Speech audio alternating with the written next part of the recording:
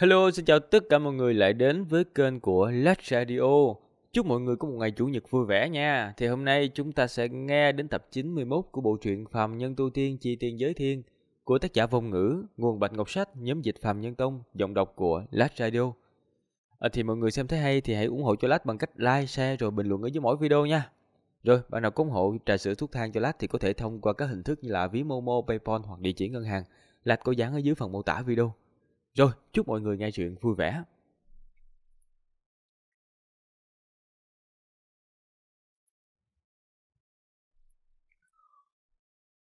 Đã tạ tiền bối. Nam tử râu quay nón nghe như vậy thì đại hỉ, thi lễ với hàng lập một cái, sau đó thân hình bay thật nhanh xuống, tách rời thi thể lôi dẫn thú ra một cách thuần thục. Gã cũng không dám trì hoãn quá lâu, chỉ thu mấy cái thứ tài liệu trọng yếu vào, xong liền bay trở lại. Tay của hàng lập bấm niệm pháp quyết, đang tính thúc giục phi thuyền thì hải vực chung quanh bỗng nhiên rung động. Ánh mắt của hắn đảo qua khắp nơi, phát hiện ra mặt biển gần đó nhấc lên từng đạo sóng cả cực lớn, phát ra trận trận tiếng nổ mạnh ù ù. Cùng lúc đó, cách nơi đây mấy trăm dặm, một tòa hải đảo không người dâng lên khối đặc cuồn cuộn. Một hòn đảo khác thì nham thạch nóng chảy đỏ thẫm, vừa thô vừa to từ trong tuôn ra, bay thẳng lên bầu trời. Ba người mẫu tuyết thấy như vậy thì cả kinh, nhưng thấy thần sắc của Hàng Lập tự nhiên, liếc nhìn nhau, cũng không dám mở miệng nói cái gì. Thần sắc của Hàng Lập không đổi, nhưng trong lòng thì khẽ động. Dọc theo đường trở lại Hắc Phong đảo, hắn thường xuyên nhìn thấy cái loại thiên tai biển gầm địa chấn này. Trước kia tuy Hắc Phong hải vực thỉnh thoảng xảy ra cái tình huống như vậy, nhưng không có xảy ra nhiều lần như vậy. Hắn lắc đầu thu hồi ánh mắt lại, phất tay đánh ra một đạo pháp quyết. Thanh viên phi thuyền khẽ rung lên, sau đó ánh sáng màu xanh đại phóng. Linh vũ hai bên phi thuyền vỗ phần phật một cái, bỗng nhiên biến dài gấp mấy lần, hóa thành một cánh chim màu xanh thật dài. Phi thuyền lóe lên, hóa thành một đạo thanh hồng thật dài, bắn về phía trước với tốc độ cực nhanh, trong giây lát biến mất vô ảnh vô tung. Các người biết cái tình huống ở Hắc Phong đảo lúc này như thế nào không vậy? Vẫn còn tiếp tục tranh đấu với Thanh Vũ đảo hả? Hàng Lập vừa khu động phi thuyền vừa tùy ý hỏi. Dạ khởi bẩm tiền bối, từ khi các nơi hải vực xuất hiện dị biến đến nay á, Hắc Phong đảo và Thanh Vũ đảo đã ngừng tranh đấu rồi.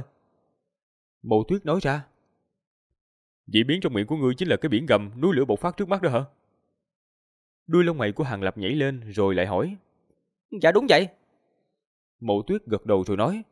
Hàng Lập nghe như vậy như có điều suy nghĩ. Gật đầu nhẹ. Kế tiếp hắn cũng không nói gì nữa. Ba người mẫu tuyết tự nhiên cũng không dám tùy ý mở miệng. Mấy người trầm mặt bay đi. Với tốc độ của thanh viên phi thuyền, không lâu lắm đã tới Hát Phong Thành. Bọn họ dừng lại một chỗ ở ngoài thành. Lần này đã tạ ơn cứu mạng của tiền bối nha. Ờ, xin hỏi có thể biết được uh, tính danh tiền bối hay không vậy? Chúng ta sẽ khắc cốt ghi tâm. Ba người mẫu tuyết bay xuống lên thuyền, cảm kích lần nữa rồi nói. Không cần đâu, bèo nước gặp nhau mà thôi, các người đi đi. Nhớ rõ nha, mặc dù tu luyện là trọng yếu, nhưng tính mạng chỉ có một cái mà thôi đó. Hàng Lập nhàn nhạt nói ra. Nói xong hắn không chờ ba người nói thêm cái gì nữa, thân hình nhoáng một cái bay về phía cửa thành ở phía xa.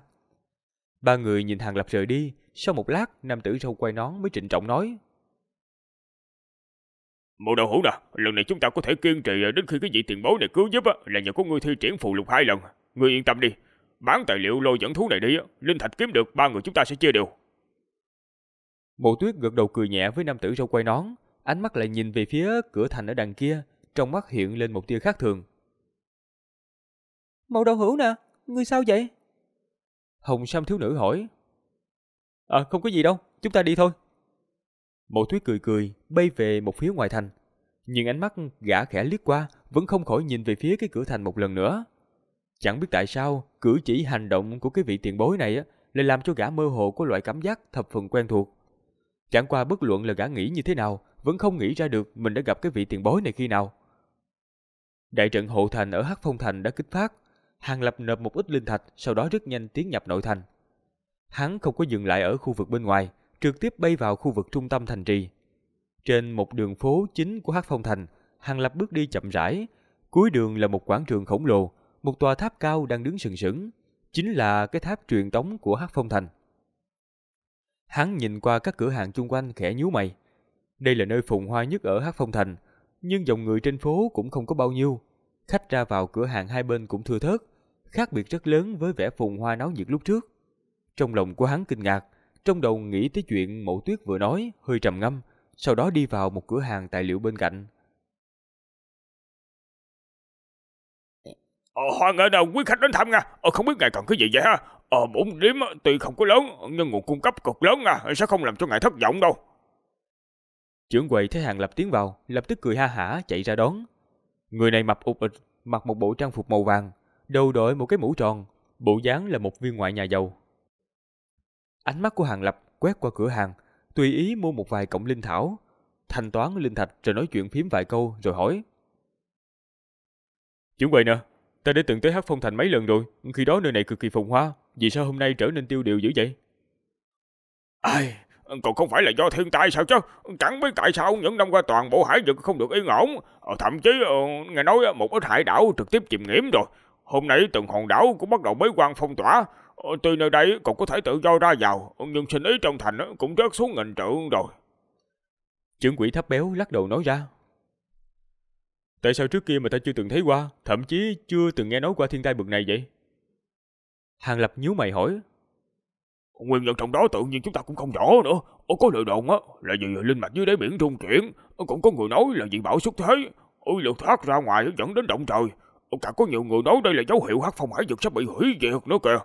Bốc quá cũng không biết thiệt hay giả nữa. Trưởng quỷ thấp béo hạ giọng thân thân bí bí nói. Hàng lập nhíu mày, những cái lời đồn này nghe rất là hoang đường, không thể tin được. Thôi không nói chuyện này nữa, trưởng quầy nè, Truyền tống trận kết nối Hắc Phong Thành với bên ngoài còn bao lâu nữa thì mở ra vậy? Hàng Lập cười khổ một tiếng, sau đó lại hỏi. Lần này mục đích chủ yếu nhất của hắn tới Hắc Phong Thành là muốn rời khỏi hải vực này, đi ra bên ngoài thử thời vận, tìm được phương pháp tiến giai kim tiên. Chứ ở nơi này dường như khả năng đó rất là nhỏ. Ừ, nếu quý khách muốn đi ra ngoài á, ừ, vậy phải thất vọng rồi nha. Có lẽ ngài còn không biết á, mười mấy năm trước truyền tống trận đã mở ra rồi, sau đó lục quân đảo chủ tuyên bố đóng cửa truyền tống trận nghìn năm lận. Trưởng quỷ thấp béo lắc đầu rồi nói ra. Truyền tống trận đóng cửa nghìn năm hả? Tại sao lại đột nhiên đóng cửa? Hàng Lập nghe như vậy sắc mặt trầm xuống hỏi. Lục đảo chủ tự nhiên có dụng ý đó. Hai tay của trưởng quỷ thấp béo dơ ra tỏ ra vẻ không rõ rồi nói. Thôi, đa tạ. Vậy tại hạ phải cáo từ rồi. Hàng Lập châu mày, sau đó chắp tay với trưởng quỷ thấp béo, quay người lại đi ra bên ngoài. Hắn rời khỏi cửa hàng, cất bước đi ra trên đường phố một lát, sau đó lại đi vào một cửa hàng khác. Tuy rằng hắn cảm thấy trưởng quỷ thấp béo sẽ không lừa gạt hắn, nhưng việc này hắn cần phải xác nhận lại. Kết quả rất nhanh, hắn đi ra lần nữa, sắc mặt có chút khó coi, lại quay người đi vào một cửa hàng khác. Gần nửa canh giờ sau, Hàng Lập đứng lại trên một con phố. Trước sau hắn đã đến hơn 10 cái cửa hàng lớn nhỏ, tin tức lấy được đều giống như nhau, xác thực trong thời gian ngắn không thể nào dùng truyền tống trận được. Hơn nữa lục quân cũng không nói rõ nguyên nhân, đột nhiên ban xuống cái mệnh lệnh này. Thân sắc của Hàng Lập âm trầm, đứng đó một lúc lâu, bỗng nhiên thân hình của hắn bay xuống về hướng phủ đảo chủ. Xung quanh phủ đảo chủ không có biến hóa quá lớn so với trước kia, từng tòa kiến trúc màu đen như rừng, giống như những cự thú màu đen chiếm giữ, tản mát ra khí tức lạnh lạnh. Từng tòa kiến trúc đều có cấm chế đặc biệt bao phủ, hơn nữa những cấm chế này lại liên kết với nhau. Những cấm chế này càng thêm hùng vĩ so với trước kia, tách ra từng tia sáng chói mắt, hình thành liên tiếp quang đoàn cực lớn, căn bản từ bên ngoài không cách nào nhìn thấy tình huống bên trong.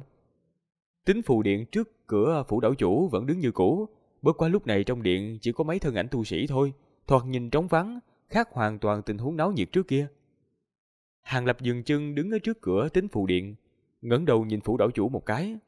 Nơi này nhìn không thấy gì khác thường cả, ở phía ngoài có vài cặp mắt nhìn chằm chằm vào, Thương đạo thần thức trong tối ngoài sáng đang vào nhau, đề phòng hết thảy người tiến đến gần, cẩn mật gấp mấy lần so với trước.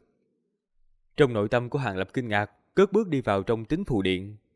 Cảnh giới nơi đây trước kia chưa từng nghi mật như thế này, hiển nhiên không phải đơn giản là do hải vực xuất hiện thiên tai dị thường rồi. Kết quả là khi hắn vừa mới bước vào trong đại điện, xa xa phía chân trời có hai đạo độn quang bay vụt đến, trong chớp mắt đáp xuống trước phủ đạo chủ. Độn quang thu lại hiện ra hai bóng người. Một người trong đó là một thiếu phụ chừng 30 tuổi, Tuy trên người mặc một bộ đạo bào giống người xuất gia, nhưng cũng không có quy y, phong thái ưu nhã. Bên cạnh nàng là một bạch y nam tử, lưng đeo một thanh trường kiếm, ánh mắt lợi hại. Bạch y nam tử không trực tiếp tiến vào trong phủ, mà biến sắc nhìn chung quanh. Lưu trưởng lão nè, làm sao vậy? Thiếu phụ trẻ tuổi cảm thấy kỳ quái hỏi. Không có gì, Ánh mắt của nam tử quét một vòng trên đường, nhàn nhạt nói ra, mày kiếm hơi nhíu lại một chút.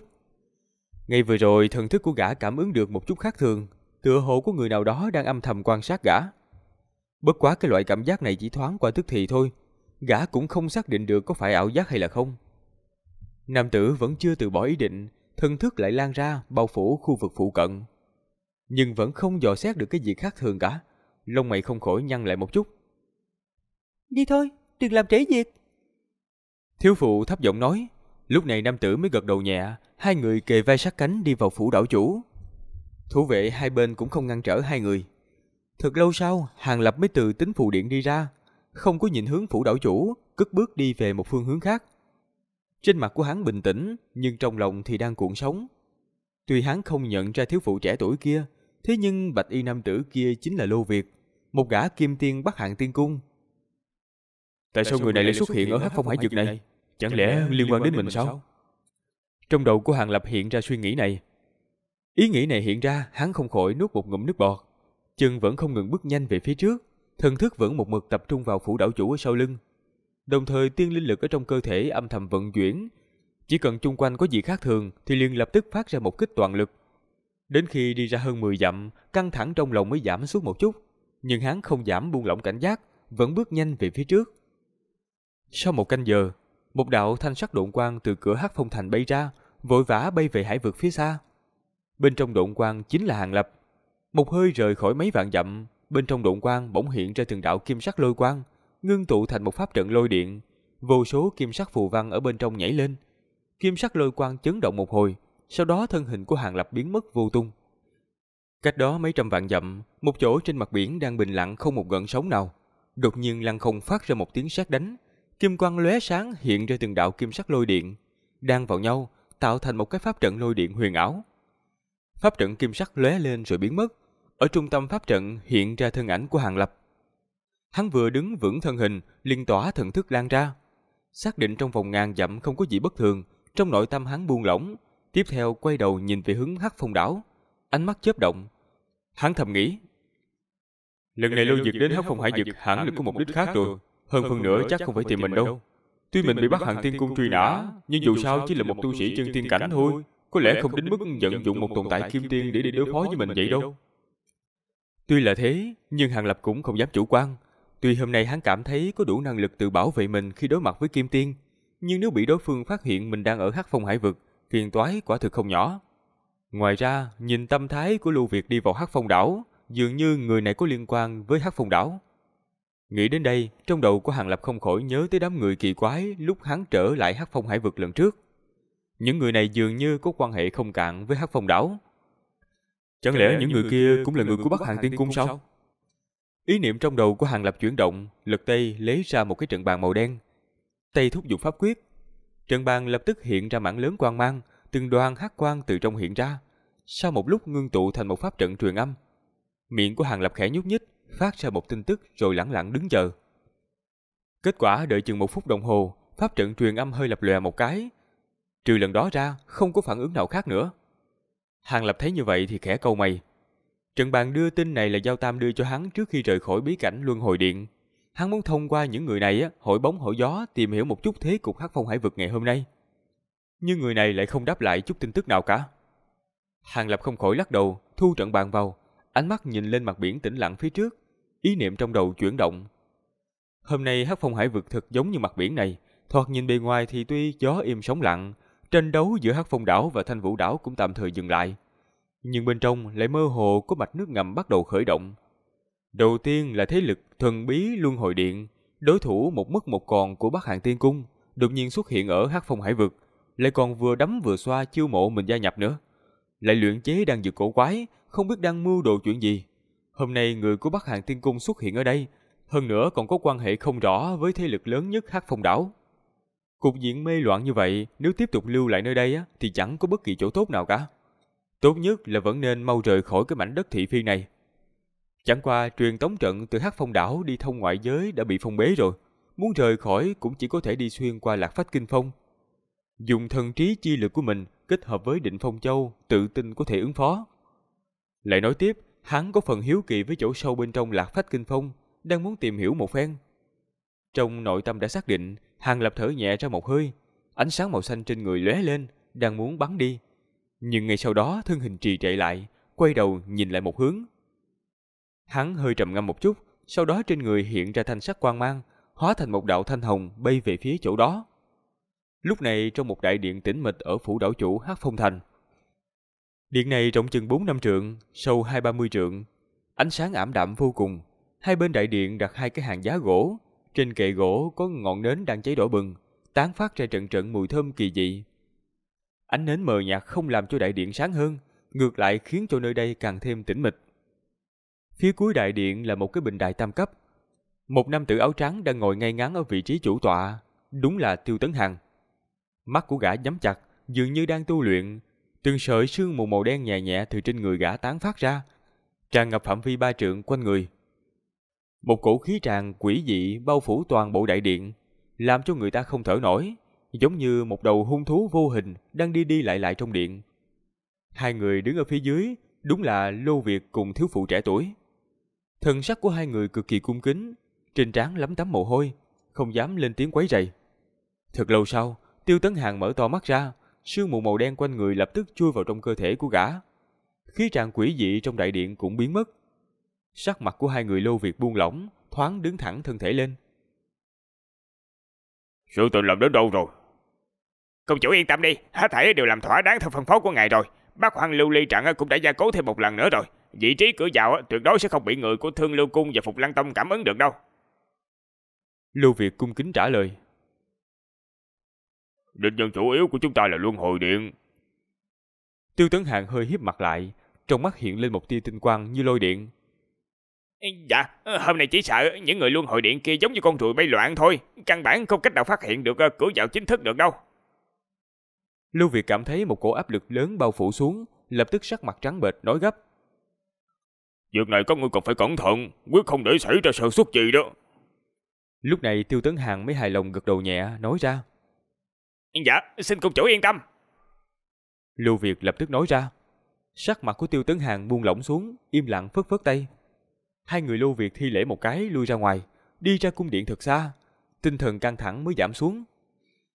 Tu vi cung chủ ngày càng cao thâm khó lường, chỉ cần hành động lần này thuận lợi á, tiếng dài thái ở cảnh sẽ không sai nữa đâu.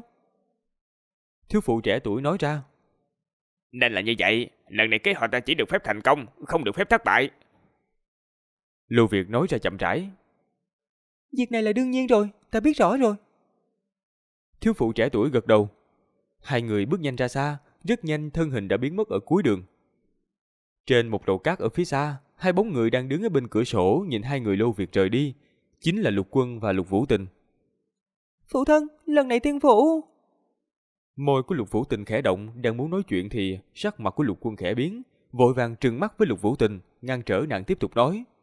Gã đóng cửa sổ lại rồi quay người đi vào bên trong lầu cát. Lục Vũ Tình âm thầm thè lưỡi đi theo đằng sau. Lục Quân đi vào một cái phòng nằm sâu trong lầu cát mới dừng lại, hai tay vung lên, đánh ra từng đạo pháp quyết. Trung quanh gian phòng hiện ra từng đạo cấm chế, khoảng 7-8 tầng, bao bọc nơi này vào bên trong cực kỳ chặt chẽ. Lục Quân đánh vào cái vách tường một cái, thanh âm ken két vang lên, mặt tường hiện ra một cái cửa ngầm. Hai người đi vào, cửa ngầm lập tức đóng lại. Phía sau cửa là một căn phòng nhỏ tối, vách tường được xây bằng một loại tinh thạch màu đen, tản mát ra một tầng quang mang u ám. Tiến vào gian phòng này giống như tiến nhập vào không gian khác vậy, triệt để cách ly với thế giới bên ngoài. Tình nhi nè, ta đã nói với ngươi nhiều lần rồi, những người kia tu vi cực cao, không biết thần trí của bọn họ đạt đến trình độ nào đâu. Nên mỗi tiếng động, mỗi cử chỉ đều phải ngàn vạn lần chú ý. Toàn bộ phụ đảo chủ chỉ sợ có mỗi cái nơi u tối này mới tương đối an toàn một chút thôi đó. Lục quân trầm giọng nói ra. Dạ, con biết rồi. Lục Vũ Tình gật đầu nhẹ. Lúc này thân sắc của lục quân mới trầm tĩnh lại.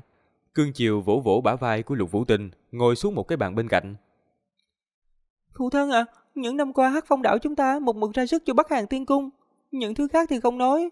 Vì tranh đấu cùng thanh vũ đảo, hơn 36 đảo hầu như một nửa biến thành phế tích rồi. Hiện tại tiên phủ xuất thế, chẳng lẽ không thể cho chúng ta một cái danh ngạch sao? Lục Vũ Tình có chút không cam lòng rồi hỏi. Da mặt của lục quân khẽ nhăn lại, âm thanh chua chát nói. Bắc Hàng Tiên Cung là tồn tại bậc nào chứ? Hắc phong đảo chúng ta trong mắt bọn họ cũng không đáng một đồng nữa kìa. Lục Phủ Tình nghe như vậy, trên mặt hiện lên vẻ tức giận. Được rồi, đợi chuyện này cũng không cần hy vọng xa vời nữa đâu. Chỉ hy vọng việc này chấm dứt sớm thôi. Bắc Hàng Tiên Cung có thể thực hiện lời hứa không can thiệp vào chuyện hắc phong hải vực chúng ta nữa.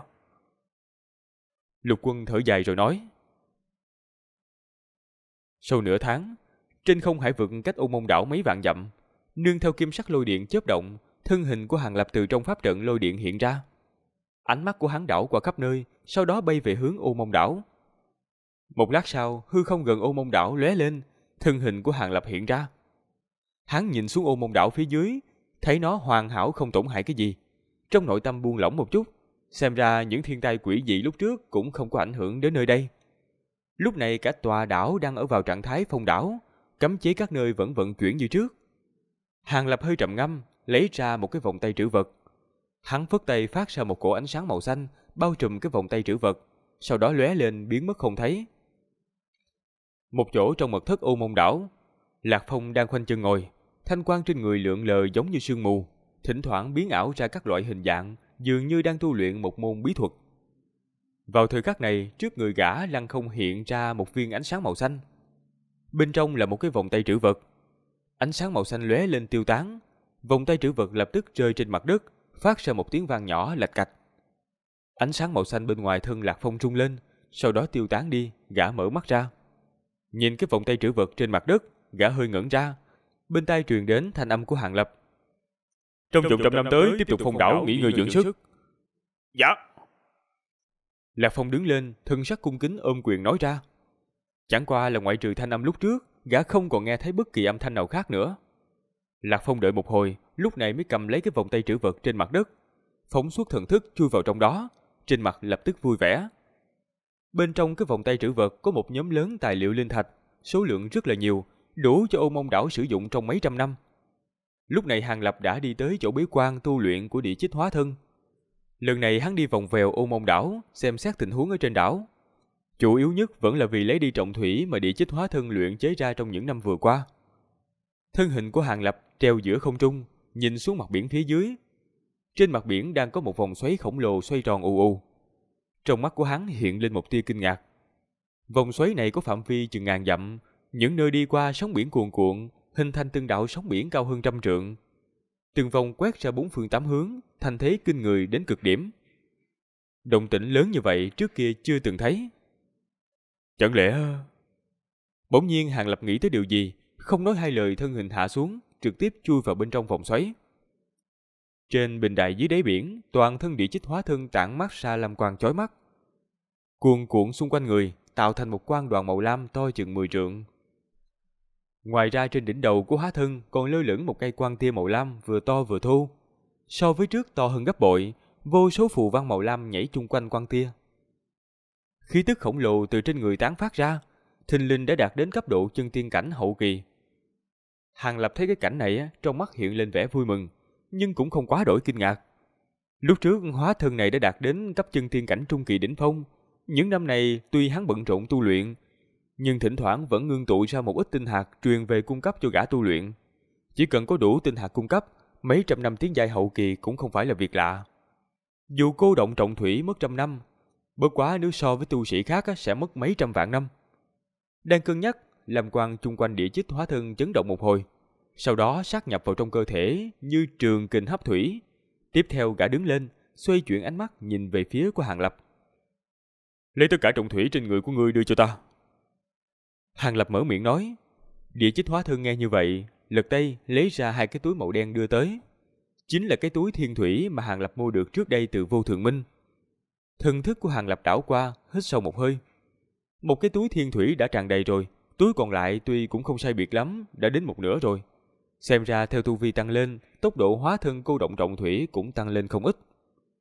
Tay hắn bấm niệm pháp quyết, bên ngoài thân hiện ra một tầng tinh quang, đưa tay tiếp lấy.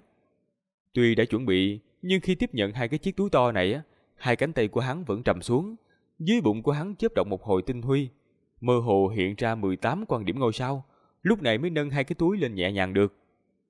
Hàng Lập thấy như vậy trên mặt hiện lên vẻ hài lòng. Hai cái túi trọng thủy này, á, thêm lúc trước còn một túi nữa. Số lượng như vậy đã đủ có tác dụng trong chiến đấu rồi. Hắn thu hai cái túi thiên thủy vào, Sau đó lật tay lấy ra ba cái túi còn trống đưa cho địa chích hóa thân. Phân phó nó tiếp tục cô động trọng thủy. Hắn không dừng ở nơi này quá lâu, lặng yên không một tiếng động bay về phía xa. Sau khi bay một khoảng xa, đến nơi mà không người khác chú ý, lập tức hắn thi triển truyền tống lôi trận chạy đi. Bộ pháp trận truyền tống câu lôi mộc kia hắn đã thu hồi trên đường trở lại U môn đảo rồi. Hơn nửa tháng sau, một chỗ biên thùy của Hắc Phong Hải vực, một đạo thanh hồng từ đằng xa bay vụt đến, lóe lên rơi xuống, hiện ra thân ảnh của Hàng Lập. Phía trước chính là khu vực Lạc Phách Kinh Phong, khắp nơi là từng đạo âm phong màu đen, liền trời tiếp đất bài sơn đảo hải. Hàng Lập nhìn âm phong vô cùng vô tận ở phía dưới, lật tay lấy ra định phong châu, sau đó đâm đầu vào bên trong âm phong. Lập tức âm phong chung quanh vò tới cuồn cuộn, nhưng bị định phong châu suy yếu hơn phần nữa nên không tạo thành ảnh hưởng quá lớn tới hắn. Lúc đầu Hàng Lập thử thích ứng, phát hiện không có gì đáng ngại liền bắt đầu tăng tốc, bay nhanh về phía trước. Do thiên địa linh khí ở nơi này bị ngăn trở, ảnh hưởng không nhỏ đến việc bổ sung tiên linh lực, cho nên trước khi tới đây hắn đã hao tốn không ít tiên nguyên thạch mua được một đám đang dược khôi phục từ vô thượng minh, chuẩn bị vô cùng sung túc. Thời gian trôi qua từng chút một, trong nháy mắt, Hàng Lập đã đi được 4 năm ngày trong lạc phách kinh phong phù thiên cái địa này. Khu vực xâm nhập lạc phách kinh phong nơi này trình độ đã vượt xa chỗ bí cảnh của luân hồi điện lúc trước. Lạc phách kinh phong chung quanh không tán loạn như lúc trước, mà ngưng tụ cùng một chỗ, hóa thành từng đạo lốc xoáy màu đen cực lớn tầm hơn 10 trượng, trên trăm trượng, giống như vô số cự long màu đen gào thét qua. Từng đạo lốc xoáy cực lớn trùng kích đến. Tuy rằng tiến đến cái phạm vi của định phong châu tản mát ra gợn sóng, uy lực đại giảm, nhưng lốc xoáy này không phải chuyện đùa, hầu như có thể so với một kích toàn lực của tu sĩ đại thừa kỳ. Lúc này toàn thân của Hàng Lập lóng lánh ngưng mang, bên ngoài thân ngưng tụ thành một tầng chân cực chi mô hơi mờ. Từng đạo phong long oanh kích đến, hung hăng đánh lên người của hắn, lại giống như đánh lên cái đá ngầm, bọt nước văng tung tóe rồi tiêu tán. Uy lực của những âm phong này hắn không để vào mắt, chẳng qua từng tiếng quái thanh gầm lên ô ô từ trong miệng của phong long phát ra chứng kinh hồn phách, lợi hại gấp 10 lần so với lúc mới vừa tiến vào. Tuy những quái âm này cũng bị định phong châu suy yếu hơn phân nửa rồi, bớt quá vẫn vượt xa so với lúc đầu. Vì thế mà Hàng Lập phải giảm tốc độ đi tới lại, bắt đầu thúc giục luyện thuần thuật chống cự, lúc này mới cảm thấy đỡ hơn. Giờ phút này toàn thân của hắn hóa thành một đạo lưu quang màu đen, giống như một chiếc thuyền con, nhanh chóng xuyên qua âm phong vô tận. Thời gian trôi qua từng chút một, mấy ngày sau chung quanh lạc phách kinh phong đã tạo thành từng trụ vội rồng màu đen cực lớn nối liền trời đất. Những cái lốc xoáy phù thiên cái địa này cuốn đi khắp nơi, khi thì giao thoa, khi thì lại tách ra, trước mắt đều là một mảnh tối tăm mờ mịt, không cách nào thấy rõ. Hàng lập ở trong cái vòng bảo hộ màu đen do định phong châu biến thành, lách qua từng đám trụ vội rồng, tận lực tránh va chạm với những cái lốc xoáy kia, đồng thời ngưng thần giữ vững thần thức hải. Hắn có thể cảm nhận được bên trong những cái lốc xoáy này ẩn chứa âm hàn chi lực, dù là hắn cũng không muốn đón đỡ trực tiếp. Hiện tại tuy rằng hắn vẫn không ngừng tiến lên, nhưng tốc độ đại giảm so với lúc trước. Thanh âm quỷ rít nhiếp hồn nơi này cường đại hơn rất nhiều so với trước. Mặc dù hắn có thể chịu được, nhưng không dám tản mát ra thần thức ra ngoài cơ thể. Thần thức lực do thần hồn duy trì. Nếu để thần thức phát ra va chạm với lạc phách kinh phong ở chung quanh, thì tiếng quỷ rít gió gào sẽ ảnh hưởng đến hắn càng lớn. May mắn hắn có thành minh linh nhãn, lam quang lập lòe trong hai mắt, không cần thần thức cũng có thể nhận biết được hướng đi của âm phong chung quanh, nếu không chỉ sợ đi được nửa bước cũng khó.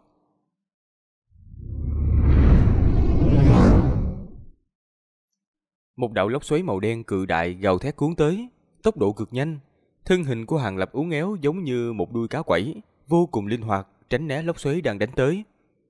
Bất quá vào thời khắc này, một đạo hắc ảnh trong lốc xoáy phóng tới Hàng Lập nhanh như điện, tốc độ cực nhanh như một tia chớp màu đen. Mặc dù hắc ảnh nhanh, nhưng phản ứng của Hàng Lập còn nhanh hơn. Hắn vùng ngón tay lên, một đạo kiếm khí màu xanh sáng ngời cuốn tới, chạm chuẩn xác lên hắc ảnh. Một âm thanh vang lên, hắc ảnh bị kiếm khí chém thành hai đoạn, mặt ngoài hắc khí tiêu tán, lộ ra bên trong là một quái xà toàn thân đen kịch. Quái xà này dài hơn một trượng, đầu hình tam giác, toàn thân đen nhánh, tản mát ra khí tức âm hàn cực nặng, hai con ngươi đỏ sậm, sắc mặt lạnh như băng. Sau khi bị chém thành hai đoạn, con rắn này không chết, mà hai đoạn tàn thân uốn éo dung hợp lại làm một, giống như chưa từng bị thương, chẳng qua khí tức âm hàn tỏa ra đã giảm bớt không ít. Hàng Lập thấy cảnh này trong mắt hiện lên một tia kinh ngạc. Quái xà màu đen khôi phục nhưng không có đào tẩu, trong miệng phát ra một tiếng kêu tê tê kỳ quái. Hung quang trong mắt càng tăng lên, nhìn nó có vẻ linh trí không cao. Thân hình nó uốn éo lần nữa, hóa thành một đạo tàn ảnh mơ hồ biến mất vô tung. Sau một khắc, quái xà màu đen từ hư không xuất hiện sau lưng của Hàng Lập, cắn tới mãnh liệt. Hàng Lập cười nhạt một tiếng, một tay phất lên. Hư không bên trên quái xà màu đen chấn động một cái. Một đại thủ màu xanh lăng không hiện ra, nằm ngón tay chụp xuống như thiểm điện, nắm chặt lấy quái xà màu đen. Quái xà bị đại thủ màu xanh bắt trúng, ra sức dãy dụa nhưng không thoát ra được. Đại thủ màu xanh cầm lấy quái xà bay đến trước người của Hàng Lập. Dừng này là... Hai mắt của Hàng Lập nhìn quái xà màu đen, lông mày câu lại. Thoạt nhìn tựa hồ con rắn này là do âm hàng chi khí nơi này ngưng tụ thành quái vật, cũng không phải là thực thể, khác rất lớn với yêu thú bình thường. Lúc trước vì đi qua Lạc Phách Kinh Phong, hắn tìm đọc không ít điển tịch về Lạc Phách Kinh Phong. Một bản điển tịch trong đó có nói sâu trong Lạc Phách Kinh Phong, có một ít âm thú quái dị rất khó đối phó. Quái xà màu đen này chắc là âm thú kia rồi. Tay của Hàng Lập khẽ nhúc nhích, đại thủ màu xanh siết chặt lại.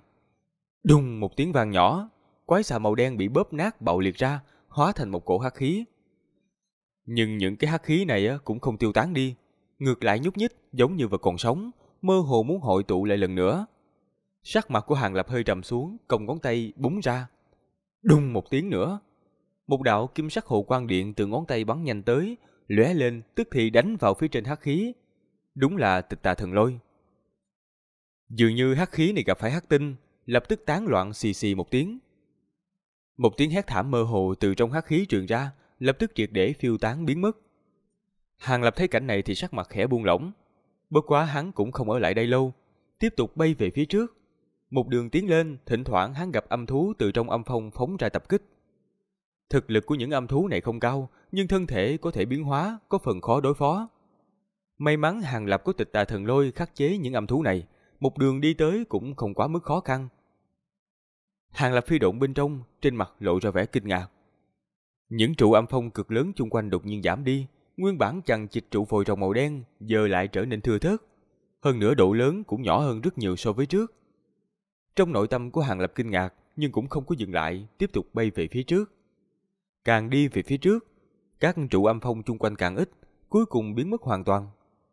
Âm phong gào thét không còn thấy bóng dáng nữa, đập vào mắt là một mảnh hắc vụ nhàn nhạt, phiêu đảng nhẹ nhàng, cảm giác âm hàng chung quanh cũng theo đó đại giảm. Những âm thú kia cũng biến mất vô tung. Âm phong biến mất, những thanh âm gào khóc thảm thiết kia cũng hầu như không nghe thấy nữa. Nơi này phản phất như một mảnh hắc vụ yên tĩnh. Chẳng lẽ đã xuyên qua lạc phách kinh không rồi? Hàng Lập nghĩ thầm ở trong lòng nhưng lập tức lắc đầu.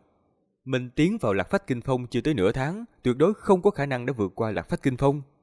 Nơi này tất nhiên vẫn còn ở trong lạc phách kinh phong, chỉ sợ đã đến một khu vực đặc thù nào đó. Chỉ tiếc là hắn tìm được rất ít điển tịch nói về lạc phách kinh phong, trong đó cũng không ghi chép tình huống này. Hàng Lập trầm ngâm một lát, ánh sáng màu xanh trên người đại phóng, tiếp tục bay về phía trước. Bất quá tốc độ phi động của hắn giảm xuống một ít, đồng thời lam quang trong mắt lập lòe, dò xét hết thảy động tĩnh ở chung quanh. Bay gần nửa ngày thì hắc vụ chung quanh vẫn tràn ngập, chẳng qua càng tiến đến thì sương mù càng nồng đậm lên nhiều. Cuối cùng sương mù nồng đậm như thực chất. Đến lúc này mặc dù hắn có thanh minh linh nhãn cũng không nhìn xa được. Hơn nữa trong sương mù không hề an tĩnh như lúc trước, bắt đầu xuất hiện ra từng đợt âm thanh bén nhọn quái dị, giống như tiếng khóc của con nít. Tuy thanh âm này không lớn, thậm chí có lúc như có như không, nhưng uy lực lớn hơn so với thanh âm gào khóc thảm thiết lúc trước. Đuôi lông mày của Hàng Lập nhảy lên, nhìn chỗ này hình như đã đến một khu vực mới khác. Hắn giảm độn tốc xuống một chút, đồng thời hai mắt lóe lên, bắn ra hai luồng lam quang dài hơn thước, tra xét động tĩnh ở chung quanh. Tiếp tục đi tới một đoạn trong hắc vụ, sắc mặt của hắn chợt hơi đổi, thân hình phi độn bỗng nhiên ngừng lại. Con mắt nhìn kỹ phía trước, một hồi thanh âm ù ù từ phía trước truyền đến, nguyên bản sương mù màu đen bình lặng bỗng nhiên cuồn cuộn kịch liệt. Thanh âm càng ngày càng lớn, sương mù chung quanh cuồn cuộn càng ngày càng kịch liệt, cuối cùng sôi trào như là nước sôi. Lông mày của Hàng Lập càng nhăn chặt lại, đang lo lắng nên quay lại hay là tránh sang đường khác. Vào thời khắc này, sương mù màu đen quanh người hắn bỗng nhiên xoay tròn điên cuồng.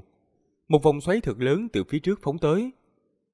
Dùng năng lực tầm mắt của hắn lúc này, vậy mà vẫn không nhìn thấy toàn cảnh vòng xoáy. Thậm chí ngay cả trung tâm vòng xoáy cũng nhìn không tới, không biết lớn đến bao nhiêu. Một cổ hấp lực cường đại từ sâu trong vòng xoáy tán phát ra, bao phủ thân thể của hắn vào trong. Lực lượng này cực lớn, thân thể Hàng Lập bị hút vào cái hướng trung tâm vòng xoáy. Sắc mặt của hắn trầm xuống, ánh sáng màu xanh trên thân đại phóng, ngưng lại đậm đặc như là thực chất. Lúc này thân hình mới ổn định lại. Hàng Lập nhìn vào cái chỗ sâu ở trong vòng xoáy, trong mắt tinh quang chớp động, sau đó ánh sáng màu xanh trên người sáng ngời lần nữa, bay về hướng hai bên vòng xoáy. Thân hình của hắn vừa động, bỗng sương mù phía trước cuồn cuộn, một đạo hắc ảnh từ bên trong bắn ra. Là một con cốc âm thú màu đen to cỡ căn phòng, cái cổ thô ngắn, toàn thân xù xì, thoạt nhìn có chút đáng sợ. Con cốc màu đen há to cái miệng rộng ra, phun ra một đạo hắc quang nồng đậm, đánh vào đầu của Hàng Lập, dường như muốn ngăn trở hắn rời khỏi. Cột sáng màu đen tản mát ra chấn động âm hàn chi lực kinh người. Những nơi đi qua, hư không cũng hiện ra đạo đạo vệt băng, dường như bị đông kết lại. Hàng Lập hừ lạnh một tiếng, một tay phất lên. Một phi kiếm màu xanh bắn ra, sau đó rung lên hóa thành một thanh cự kiếm màu xanh to vài chục trượng. Phía trên hiện ra từng đạo kim sắc hồ quang điện. Cự kiếm màu xanh lập tức biến thành một lôi kiếm kim sắc, trảm lên cái cột sáng màu đen. Một tiếng nổ mạnh vang lên, cột sáng màu đen không chịu nổi một kích của lôi kiếm kim sắc, sau một cái chớp mắt liền sụp đổ ầm ầm, bạo liệt ra. Lôi kiếm kim sắc mơ hồ một cái, sau một khắc xuất hiện trên đỉnh đầu con cốc, chém xuống đầu nó. Kim quang lóe sáng, thân thể con cốc lập tức bị chém thành hai khúc. Tịch thà thần lôi lan tràn lên trên hai cái mảnh tàn thể của nó. Hai mảnh tàn thể phanh một tiếng nổ tan ra, hóa thành hai luồng hắc khí phiêu tán. Tuy Hàng Lập chém giết con thú này, nhưng tốc độ bị chậm lại một chút. Vòng xoáy khổng lồ sau lưng nhanh chóng tới gần, lực xé rách chung quanh càng thêm mãnh liệt. Sắc mặt của Hàng Lập ngưng lại, tay bấm niệm pháp quyết, thanh quang trên người sáng lên, đang muốn thi triển bí thuật phi độn rời khỏi. Vào thời khắc này, bên trong vòng xoáy khổng lồ hiện ra một đạo hắc ảnh vừa thô vừa to bắn nhanh tới. Là một cái xúc tu cực lớn, tốc độ nhanh choáng váng há hốc mồm, quấn quanh thân thể của hắn lại. Bất quá Hàng Lập đã thi triển chân cực chi mô, tuy xúc tu quấn chặt thân thể của hắn nhưng cũng không có thực sự chạm vào. Sắc mặt hắn khẽ biến, lập tức hừ lạnh một tiếng, tay bấm niệm pháp quyết. Ánh sáng màu xanh trên thân của Hàng Lập chớp liên tục, hai chui thanh trúc phong vân kiếm bắn ra, chạm lên cái xúc tu màu đen. Những xúc tu màu đen cứng rắn vô cùng, thanh trúc phong vân kiếm chỉ chém vào một đoạn ngắn liền ngừng lại. Đuôi lông mày của Hàng Lập nhảy lên, mặt lộ ra vẻ kinh ngạc, đang tính hành động khác. Nhưng xúc tu màu đen kéo lại mãnh liệt, lực lượng cực lớn, hắn không kịp chuẩn bị nên bị kéo vào trong cái vòng xoáy khổng lồ. Hắn cảm thấy hoa mắt, sau một khắc trước mắt xuất hiện cái vòng xoáy xoay tròn kịch liệt, hắc khí chung quanh cấp tốc xoay tròn, phát ra thanh âm ù ù, lao nhanh giống như thiên quân vạn mã. Từng cổ lực xé rách cực lớn tuôn ra từ bốn phương tám hướng, bao phủ trên người của hắn, so với vừa rồi cường đại gấp mấy lần. Xúc tu màu đen vẫn đang quấn quanh trên người của hắn, hơn nữa không ngừng nhúc nhích, nhanh chóng buộc chặt lại. Bất quá chân cực chi mô cực kỳ cứng cỏi, mặc dù cho xúc tu màu đen này coi rút nghiền ép như thế nào thì vẫn lù lù bất động. Lúc này Hàng Lập bị kéo vào chỗ sâu trong vòng xoáy. Hắn trấn định lại, không để ý tới cái xúc tu màu đen trên người nữa, mà ánh mắt nhìn xung quanh nhíu mày lại. Nhưng vào lúc này, một tiếng gào to nặng nề từ chỗ sâu trong vòng xoáy truyền đến, lập tức veo một tiếng. Bên trong phía trước vòng xoáy lóe lên hắc ảnh, lại là một xúc tu màu đen khác bắn ra, lần nữa quấn quanh trên thân của Hàng Lập, hung hăng đè ép hắn. Hàng Lập thu hồi ánh mắt lại, nhìn về hướng sâu trong vòng xoáy, trong mắt lóe lên lãnh mang, tay thi triển kiếm quyết. Một tiếng nổ lớn vang lên, mặt ngoài những thanh trúc phong vân kiếm kia đột nhiên hiện ra từng đạo kim sắc lôi điện. Thân kiếm lập tức tăng vọt, biến thành hai thanh kim sắc lôi kiếm to vài chục trượng. Kim sắc lôi kiếm xoay tròn chém xuống nhanh như thiểm điện, phát ra tiếng trầm đục, phành phành liên tiếp. Hai cái xúc tu màu đen bị chém thành mấy đoạn, hóa thành cổ hắc khí phiêu tán. Một tiếng kêu khàn khàn kỳ quái từ sâu trong vòng xoáy truyền ra, tràn đầy vẻ đau đớn. Hàng Lập lấy lại bình tĩnh, nhìn vào chỗ sâu trong vòng xoáy, trong mắt lóe lên lam quang. Chỉ thấy chỗ sâu trong vòng xoáy hiện ra một hắc ảnh cực lớn, đang nhanh chóng tiến đến gần. Hàng Lập thấy như vậy cũng không lùi lại tránh né, hư không nơi này tràn ngập lực xé rách, với thực lực trước mắt của hắn tuy có thể di động, nhưng có chút khó khăn. Ý niệm trong đầu của hắn chuyển động, tay khẽ vẫy, trong hắc khí cách đó không xa, lóe lên lôi quang kim sắc. Chui cự kiếm lôi điện chém giết con cốc âm thú lúc trước, bay vụt trở về bên cạnh của hắn. bà thành kim sắc lôi kiếm lơ lửng bên cạnh của hắn, quan điểm kim sắc lượn lờ trên thân kiếm chuyển động chậm rãi. Sau một khắc, vòng xoáy phía trước cuồn cuộn một cái, một khắc ảnh cực lớn bắn ra, là một đầu chương ngư to khoảng vài chục trượng, phản phất như một tòa núi nhỏ. Toàn thân con thú này đen kịch, cặp mắt tôi như là cái vạt nước lóe ra ánh sáng màu đỏ, tràn đầy vẻ oán độc cùng vẻ lạnh như băng. Sau lưng quái thú chưa ngư có hơn 10 cái xúc tu đang vung vẩy, nhấc lên trận trận cuồng phong, trong đó có hai cái đã bị đứt gãy. Bất quá hai đoạn đứt gãy phát ra hắc quang lập lòe, nhanh chóng khôi phục lại như cũ với tốc độ mắt thường có thể thấy được. Khí tức âm hàn to lớn vô cùng từ trên người con thú tán phát ra. So với đầu cốc âm thú lúc trước, cường đại đâu chỉ gấp 10 lần, có thể so với tu sĩ chân tiên cảnh hậu kỳ. Con thú này vừa hiện thân, tất cả xúc tu bỗng nhiên mơ hồ một cái, đang vào thành một tấm lưới lớn màu đen cuốn tới Hàng Lập. Hàng Lập thấy cái cảnh này thì nhíu mày. Thoạt nhìn thực lực của những âm thú này không kém, nhưng dường như linh trí không cao. Khát máu, thích giết chóc, căn bản không cân nhắc thực lực song phương. Trước đây hắn có nghiên cứu một môn bí thuật, có thể câu thông đơn giản với dị thú linh vật. Bất quá điều kiện tiên quyết là đối phương phải có linh trí mới được. Do đó hắn vốn có ý định bắt giữ con thú này để tra xét một chút tình huống bên trong cái mảnh hắc phụ này. Nhưng ý định này không thể thực hiện được. Hàng lập lắc đầu, tay bấm niệm pháp quyết. Ba cái thanh cự kiếm lôi điện bên cạnh liền xếp theo hình tam giác, hóa thành ba đạo kim sắc điện mang bắn nhanh tới. Xoẹt một tiếng, kim sắc lôi điện trên ba cự kiếm đại thịnh mãnh liệt, mặt ngoài hiện lên từng đạo kim sắc hồ quang điện, kết nối với nhau hình thành một cái lưới điện kim sắc. Vô số kim sắc hộ quang điện vừa thô vừa to trên lưới điện bạo liệt ra, va chạm âm âm với cái tấm lưới do xúc tu chưa ngư hình thành. Liên tiếp âm thanh buồn bực xùy xùy vang lên, hắc khí và kim quang đang vào nhau, vân sáng văng khắp nơi. Hắc khí mặt ngoài xúc tu vừa chạm vào tịch tà thần lôi, lập tức tan vỡ tiêu tán. Kim sắc hộ quang điện lan tràn trên cái xúc tu, hơn phân nửa xúc tu hiện ra từng đạo vết thương văng khắp nơi. Xúc tu màu đen do âm khí nơi đây ngưng tụ thành lại bị tịch tà thần lôi khắc chế. Nhưng nó ngưng thực quá mức hùng hậu nên tịch tà thần lôi cũng không cách nào đánh bại trong một kích được. Trong miệng của âm thú chương ngư phát ra một tiếng hét thảm, lúc này trong mắt mới hiện lên vẻ sợ hãi. Dường như bây giờ nó mới hiểu được cái tên địch nhân trước mắt này không phải là mình có khả năng chống lại. Thân hình con thú này khẽ động, đang muốn quay người phi động trốn đi. Nhưng Hàng Lập há lại để cho nó chạy thoát như vậy chứ. Trong mắt lóe lên quang mang sắc nhọn, tay thúc giục kiếm quyết. Lập tức thanh cự kiếm xoay tròn, từng đạo bóng kiếm kim sắc phóng tới, đuổi theo gấp, chém lên trên cái xúc tu chương ngư. Những xúc tu chương ngư này vốn đã bị suy yếu rất nhiều, bị bóng kiếm chém lên lập tức đứt ra. Bóng kiếm chớp liên tục, trong chớp mắt tất cả xúc tu đều bị chặt đứt. Chương ngư âm phát ra tiếng hét thảm lần nữa, không quan tâm đến cái xúc tu bị chém đứt, há to cái miệng rộng, phun ra chất lỏng màu đen như mực. Chất lỏng này vừa xuất hiện lập tức căng phòng lên, hóa thành một đám mây đen kịch lớn gần một mẫu, bao bọc cái kiếm ảnh đầy trời cùng ba thanh kim sắc cự kiếm lại. Lập tức ba thanh kim sắc cự kiếm trầm xuống, bị cái cổ lực lượng trong mây cầm cố nên không thể động đậy được. Âm thú chương ngư bị chém đứt xúc tu khẽ động, toàn thân đại phóng hắc quang, hóa thành một đoàn hắc ảnh bay về phía xa, tốc độ cực nhanh.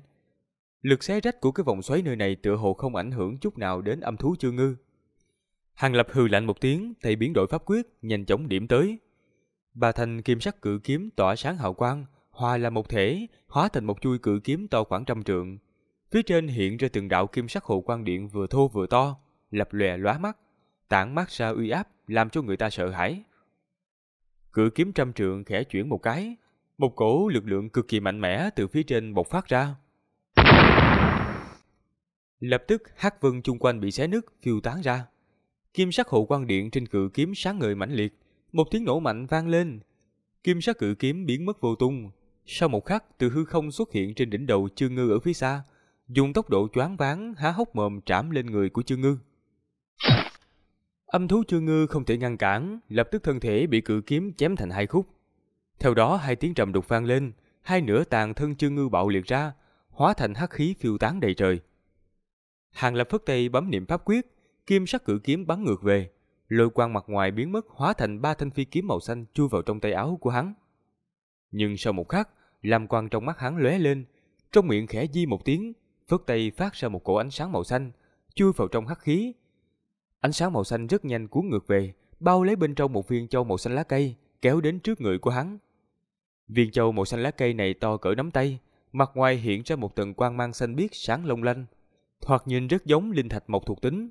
Chẳng qua cái vật ấy tản mát ra một cổ dao động nguyên khí cực kỳ âm hàn, khác hoàn toàn với linh thạch mộc thuộc tính. Đây là cái gì? Chẳng lẽ là yêu hạch sao? Hàng Lập đánh giá viên cầu vài lần, trong miệng lẩm bẩm. Nhưng ngay sau đó ánh mắt của hắn lóe lên. Trong đầu của hắn hiện ra cảnh năm đó lúc còn ở nhân giới, thu được hồn thạch ở âm minh chi địa. Viên châu màu xanh lá này phát ra khí tức tương tự với hồn thạch lúc trước. Chẳng qua khí tức của viên châu này cường đại gấp trăm ngàn lần. Hàng Lập lực tay thu cái viên châu màu xanh lá này vào, ánh mắt nhìn chung quanh, mặt lộ ra vẻ do dự. Lạc phách kinh phong này có vài phần tương tự với âm minh chi địa năm đó. Ngoài ra còn có cái viên châu màu xanh lá này. Chẳng lẽ giữa hai nơi này có quan hệ gì sao? Hàng Lập suy nghĩ một lát, rất nhanh lắc đầu. Ánh mắt nhìn chung quanh. Hôm nay còn không rảnh quan tâm những cái thứ này. Rời khỏi chỗ cái vòng xoáy này mới là việc cấp bách nhất. Lực xé rách ở chỗ sâu trong vòng xoáy này tuy rằng thật lớn, nhưng vẫn không thể nào tạo thành tổn thương lớn đối với thân thể của hắn. Chẳng qua cái cổ hấp lực ở nơi này mạnh như thế, muốn rời khỏi thì có chút phiền phức. Hàng Lập trầm ngâm một lát, bỗng nhiên quát một tiếng. Ánh sáng màu xanh trên người đại phóng, trong đó đồng thời hiện ra từng đạo kim sắc điện mang.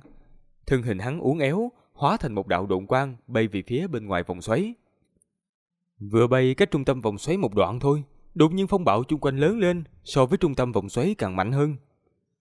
Hàng Lập cảm giác được không khí bốn phía siết chặt lại, tiếp theo thân thể không tự chủ được, bị cổ gió lốc này quét tới dựng lên. Hắn hừ nhẹ một tiếng, thúc giục pháp quyết, đụng quang trên người sáng lên, cũng không cưỡng ép lại phong bạo chi lực mà nương theo chuyển động của cái vòng xoáy hướng phía bên ngoài bay đi. Sau một lát, ngay chỗ rìa cái vòng xoáy khổng lồ có hắc vụ cuồn cuộn, một bóng người từ bên trong bắn ra, hiện ra thân ảnh của Hàng Lập. Sắc mặt của hắn tái nhợt, cũng không có lập tức dừng lại, mà bay về phía trước một khoảng, sau đó mới ngừng lại thở ra một hơi. Uy lực của cái vòng xoáy khổng lồ này lớn hơn một chút so với hắn tưởng tượng, làm cho hắn tiêu hao không ít tiên linh lực mới thoát khốn được. Hàng lập lực tay, lấy ra một quả đan dược khôi phục linh lực ăn vào, sau đó xích quang trên người lập lòe một hồi, khôi phục tướng mạo ban đầu. Hắn thu lại cái mặt nạ, ánh sáng màu xanh trên người đậm đặc lên, tiếp tục phi độn về phía trước. Trong nháy mắt, hắn tiếp tục đi lại trong vụ hải màu đen được thêm mấy ngày nữa. Bên trong vụ hải màu đen cũng không có nguy hiểm nào khác, chẳng qua thỉnh thoảng lại gặp cái vòng xoáy khổng lồ quỷ dị như trước. Những cái vòng xoáy này có lớn có nhỏ, nhưng đại đa số đều lớn hơn so với cái lần đầu hắn gặp, thậm chí lớn hơn gấp mấy lần, trong đó phát ra hấp lực cực mạnh, làm cho hắn có cảm giác lực bất tòng tâm, chỉ sợ không cẩn thận sẽ rơi vào cảnh vạn kiếp bất phục. Mà khi gặp một ít vòng xoáy nhỏ, hắn thuận tay chém giết âm thú chiếm giữ trong đó, lại đạt không ít cái viên châu màu xanh lá. Một tiếng vang thật lớn. Trong lúc Hàng Lập đang bay về phía trước, vụ hải phía sau đột nhiên cuộn cuộn kịch liệt. Thân hình của hắn dừng lại, đồng thời hai mắt lóe lên lam mang. Nhưng ngay sau đó ánh sáng màu xanh trên người hắn đại phóng, vội vàng bay về một hướng khác. Ngay lúc hắn vừa mới bay ra không xa, thì vụ hải phía sau cuồn cuộn xẹt qua một cái vòng xoáy thật lớn, tiếp theo biến mất trong vụ hải. Hàng Lập thấy như vậy thì dừng lại một lát, sau đó tiếp tục bay về phía trước. Những ngày qua, dần dần hắn đã thăm dò được phương pháp tránh né những cái vòng xoáy này rồi, nên trở nên thành thạo hơn. Vừa mới bay ra không xa, trong sương mù phía trước chợt truyền đến một âm thanh lạ. Sóng gió nổi lên cuồn cuộn. Sắc mặt của Hàng Lập lạnh lùng, không nói hai lời, một tay phất lên. Trên người vang lên một thanh âm thanh minh. Một phi kiếm màu xanh từ trong tay hắn phóng tới nhanh như điện, đón gió nhoáng một cái, hóa thành một cự kiếm lớn hơn trăm trượng. Ánh sáng màu xanh tỏa ra chói lòa, chém vào sương mù cuồn cuộn phía trước. Cự kiếm vừa chui vào trong sương mù thì tiếng nổ mạnh từ bên trong truyền ra. Cự kiếm màu xanh từ trong bắn ngược ra, hơn nữa ánh sáng màu xanh mặt ngoài thoáng có chút tán loạn. Một cổ mang lực tràn trề từ trên cự kiếm cách không truyền đến. Thân hình của Hàng Lập chấn động một cái, không tự chủ được lùi về phía sau một bước, đồng thời tay áo vung lên. Hơn 10 chuôi thanh trúc phong vân kiếm bắn ra, ánh sáng màu xanh lóe lên rồi tăng vọt hóa thành cự kiếm trăm trượng hung hăng chém vào phía trong sương mù. Tuy Hàng Lập không nhìn thấy hình dáng đối phương, nhưng trong lòng biết rõ lần này thực lực âm thú vượt xa so với trước đây. Từng đạo thanh sắc kiếm khí bắn đến cái sương mù phía trước, lập tức sương mù cuồn cuộn kịch liệt. Một thanh âm thật lớn vang lên, hơn 10 chui cự kiếm màu xanh lần nữa bắn ngược trở về. Hơn nữa trên lưỡi kiếm của mỗi chui cự kiếm đều bao bọc một tầng băng tinh màu đen dày đặc. Ánh sáng tản mát ra ở trên thân kiếm cũng ảm đạm đi không ít. Hàng Lập thấy như vậy sắc mặt hơi đổi, tay điểm vào hư không một cái.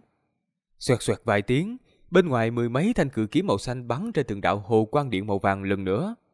Thân kiếm chấn động mãnh liệt, lập tức chấn vỡ những cái băng tinh màu đen kia. Thân kiếm khôi phục lại, tản mắt ra thanh quang sáng ngời. Hàng Lập không có tiếp tục phát động công kích, mà thân hình dừng lại giữa không trung, ánh mắt nhìn về phía trước, thân sắc ngưng trọng. Nhưng vào lúc này, hắc vụ đầy trời phía trước bốc lên kịch liệt. Một cái bóng đen từ trong đoàn sương mù bỗng nhiên bay ra, trong giây lát nhào tới trước người của Hàng Lập. Không chỉ tốc độ nhanh không thể tưởng tượng nổi, mà từ đầu tới cuối cũng không phát ra một tiếng động nào. Hàng Lập chưa kịp phản ứng thì một thanh tam cổ xoa khổng lồ từ trong hắc vụ thò ra, hung hăng đâm xuống cái đỉnh đầu của hắn. Một cổ uy áp khổng lồ trầm trọng như núi đánh xuống, làm cho Hàng Lập cảm thấy hải hùng khiếp vía. Chẳng lẽ không phải là âm thú sao? Ý nghĩ trong đầu của Hàng Lập lóe lên, không nói hai lời, một tay vung lên bấm niệm pháp quyết. Mười mấy thanh cự kiếm màu xanh ở quanh người đã được vận sức chờ phát động, lập tức bay lên đón đỡ, hình thành một võng kiếm vòng tròn ở trên đỉnh đầu. Trên thân kiếm hiện ra từng đạo hồ quang điện màu vàng vừa thô vừa to, đang xen lập lòe. Một tiếng nổ mạnh rung trời, tam cổ xoa dùng thế vạn quân đâm vào phía trên võng kiếm, làm cho mười mấy chui cự kiếm rung động lắc lư kịch liệt. Khó khăn lắm mới hình thành được cái võng kiếm mà liền muốn tán loạn ra. Một loạt âm thanh xùy xùy đại tác, từng đạo tịch tà thần lôi từ trên thân kiếm thoát ra, nhào nhào đánh lên phía trên tam cổ xoa. Tay xua tán đi không ít thác vụ lượng lờ phía trên, nhưng tam cổ xoa lại không nhúc nhích tí nào cả. Hàng lập quát một tiếng, tính bấm niệm pháp quyết lần nữa. Bỗng nhiên tam cổ xoa rung lên, tiếp theo ba cổ hắc diễm đen như mực từ mũi xoa tuôn ra mãnh liệt. Trong khoảnh khắc bao vây lấy cái võng kiếm vào trong đó, tản mát ra một cổ khí tức cực hàn. Những nơi đi qua, lập tức trên tất cả cự kiếm màu xanh hiện ra băng tinh màu đen lần nữa. Hồ quang điện màu vàng phía trên cũng bị cái băng tinh đóng băng ở trong đó, thoạt nhìn có chút quỷ dị. Hàng lập biến sắc, kết quả tam cổ xoa động một cái mãnh liệt, theo đó một tiếng nổ vang ầm ầm. Võng kiếm lập tức tan vỡ, mười mấy thanh cự kiếm màu xanh bị chấn bay ra bốn phía. Tam cổ xoa không ngừng lại chút nào, tiếp tục hung hăng đâm xuống hàng lập, tốc độ nhanh như sét đánh. Trong chớp mắt đã tới gần trong gang tấc. Phía trên hỏa diễm màu đen bộc phát ra, hừng hực thiêu đốt, lóe lên ngưng tụ thành một cái đầu rồng màu đen khổng lồ to cỡ căn phòng, miệng lớn há ra cắn xuống hàng lập. Hết thảy phát sinh với tốc độ ánh sáng, hàng lập muốn tránh né đã gần như không kịp. Tình thế ngàn cân treo sợi tóc, hắn quát một tiếng, ngay ngực bụng hiện ra 18 quan điểm ngôi sao, đồng thời huy động song quyền hung hăng đánh về phía trước. Hai đoạn quyền ảnh tinh quang to cỡ mấy trượng lăn không phóng lên trời, va chạm ầm ầm với tam cổ xoa. Một tiếng nổ mạnh lông trời lỡ đất vang lên. Tinh quang và hắc quang đang vào nhau, làm hư không phụ cận rung động lắc lư một hồi. Hàng Lập cảm thấy thân thể đại chấn, mượn lực bay ngược ra phía sau trăm trượng mới đứng vững. Hắn nhìn lại phát hiện ra hắc diễm biến thành cái đầu rồng khổng lồ cũng vỡ tan ra. Hiện ra tam cổ xoa đang lơ lửng ở giữa không trung. Tựa hồ cái đoàn bóng đen thúc giục tam cổ xoa kia cũng bị mang lực áp chế, lắc lư một cái. Hàng Lập hít sâu một hơi, áp chế khí huyết đang cuồn cuộn trong cơ thể, sắc mặt ngưng trọng vô cùng. Đến giờ khắc này, hắn vẫn không thể thấy rõ trong bóng đen kia đó là cái tồn tại gì, nhưng kỳ thực rất là mạnh, chỉ sợ không yếu hơn chút nào so với những tu sĩ kim tiên mà hắn đã từng gặp trước kia. Lại nói tiếp, một mình hắn lẻn vào lạc phách kinh phong cho đến nay, cũng không biết mình đã đi bao nhiêu xa nữa. Dọc đường tuy gặp nhiều nguy hiểm, nhưng cũng không có chân chính uy hiếp được hắn cho đến khi gặp cái bóng đen trước mặt này.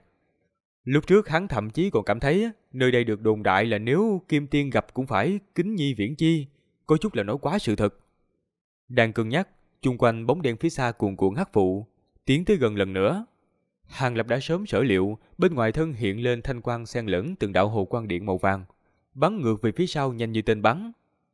Mặc dù tốc độ của hắn cực nhanh, thế nhưng cái bóng đen còn nhanh hơn, thoáng như ma quỷ nhanh chóng kéo gần khoảng cách song phương. Hai tay của Hàng Lập bấm niệm pháp quyết, trong cơ thể vang lên một tiếng hú sắc nhọn. Từng chui phi kiếm màu xanh từ thân thể bắn ra hội tụ lại một chỗ. Trong giây lát hóa thành một quang đoàn màu xanh trắng ở trước người. Mười mấy thanh cự kiếm màu xanh bị băng tinh màu đen đóng băng lúc trước cũng làm vỡ nát băng tinh ở bên ngoài, bay vụt về, dung nhập vào trong quang đoàn màu xanh. Quang đoàn màu xanh quay tròn hóa thành một tòa kiếm liên màu xanh lớn gần một mẫu. Bóng đen hơi động một chút, bên ngoài hiện ra mảng lớn hỏa diễm màu đen, thiêu đốt hừng hực, lập tức hóa thành một cái đầu quỷ to lớn, mặt xanh nanh vàng, hai mắt huyết hồng, thoạt nhìn cực kỳ dữ tợn. Sau đó tốc độ hóa thân đầu quỷ đột nhiên tăng nhiều, sau mấy hơi thở đã chạy tới. Hàng Lập nhíu mày, tay thúc giục kiếm quyết. Cánh sen ở trên kiếm liên màu xanh nở rộ toàn bộ. Đột nhiên hào quang tản mát ra đại thịnh, từng đạo kiếm khí màu xanh to lớn hiển hiện ra. Đồng thời phía trên hiện ra hồ quang điện màu vàng, chính là tịch tà thần lôi, nhào nhào chém về phía cái đầu quỷ như mưa. Một màn xuất hiện làm cho Hàng Lập kinh hãi. Kiếm khí màu xanh trộn lẫn tịch tà thần lôi rơi vào cái đầu quỷ bên trong hắc vụ, phản phất như trâu đất xuống biển, ngoại trừ làm cho hắc vụ cuồn cuộn thêm kịch liệt, tựa hồ không làm tổn thương được chút nào cả. Đầu quỷ to lớn vươn ra mãnh liệt, lập tức miệng lớn há rộng, phát ra một tiếng gào cực lớn. Từ trong tiếng gào, tuôn ra từng vòng sóng âm màu đen cuồn cuộn, phản phất như vô số âm phù nhảy lên, bao bọc lấy kiếm liên màu xanh vào trong. Kiếm liên màu xanh rung rẩy kịch liệt một hồi, lập tức vỡ vụn ra như đồ sứ bị vỡ. Lần nữa biến thành 72 thanh tiểu kiếm màu xanh, ngã trái ngã phải rơi xuống. Hàng Lập bị bao phủ ở bên trong, toàn thân không tự chủ được rung lên. Lục phủ ngũ tạng phản phất như có vô số cây đau quấy động. Không chỉ có thân thể mà thân hồn của hắn cũng rung động lắc lư một hồi. Hàng Lập kêu lên một tiếng buồn bực, đồng tử đột nhiên co rụt lại. Trong nội tâm thoáng cuồn cuộn như sóng to gió lớn. Bên trong sóng âm màu đen này ẩn chứa một loại năng lượng cổ quái. Nếu mà hắn không tu thành chân cực chi khu, thân thể mạnh mẽ, đổi lại là tu sĩ chân tiên cảnh hậu kỳ bình thường, thì giờ phút này ngũ tạng đã sớm nát bấy rồi, cốt nhục thành bùn rồi. Đầu quỷ to lớn gầm nhẹ một tiếng, trong miệng lóe lên hắc quang, chui tam cổ xoa kia lại lóe lên, mũi xoa đại phóng hắc quang. Theo đó một âm thanh bén nhọn chói tai phát ra, ba đạo hắc mang cực nhỏ từ mũi xoa bắn ra như điện, lóe lên chui vào trong hư không biến mất không thấy bóng dáng. Trong nội tâm của Hàng Lập trùng mình, hai tay bấm niệm pháp quyết, trên người đột nhiên hiện ra mảng lớn kim quang. Chân ngôn bảo luân sau lưng lóe lên hiện ra, bảo luân chuyển động nhanh chóng, gợn sóng màu vàng từ đó phát ra cuồn cuộn, khuếch tán ra xung quanh. Chẳng qua hôm nay thời gian đậu văn trên bảo luân chỉ có vẻn vẹn mười mấy đoạn sáng lên thôi, cho nên gợn sóng màu vàng nhìn như có chút mỏng manh. Gợn sóng màu vàng vừa mới xuất hiện, hư không cách phía trước người của Hàng Lập không xa rung lên. Tiếp theo ba đạo hắc ti xuất hiện, đâm tới lồng ngực của hắn nhanh vô cùng. Tuy gợn sóng màu vàng làm cho tốc độ hắc ti đại giảm, nhưng vẫn nhanh như là thiểm điện vậy. Mặc dù Hàng Lập kiệt lực trốn tránh, nhưng tốc độ của hắc ti quá nhanh, vẫn bị đâm trúng cái bả vai, mở ra một cái lỗ hổng thật nhỏ. Điều quỷ dị là, ngay miệng vết thương không có một giọt máu nào chảy ra cả, thay vào đó là từng sợi hắc khí lượn lờ. Hàng Lập không nói hai lời khẽ vẫy tay, một chui thanh trúc phong vân kiếm gần đó phóng trở về, hung hăng trảm lên cái bờ vai, gọt sạch một mảng lớn da thịt ngay cái miệng vết thương và xung quanh.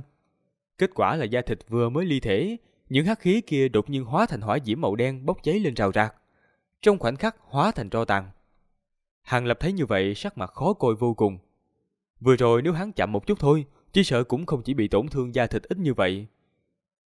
Mắt thấy một kích không trúng, quanh thân cái đầu quỷ to lớn hiện lên hắc diễm cuồn cuộn, tựa hồ lại muốn thi triển thủ đoạn công kích nào đó.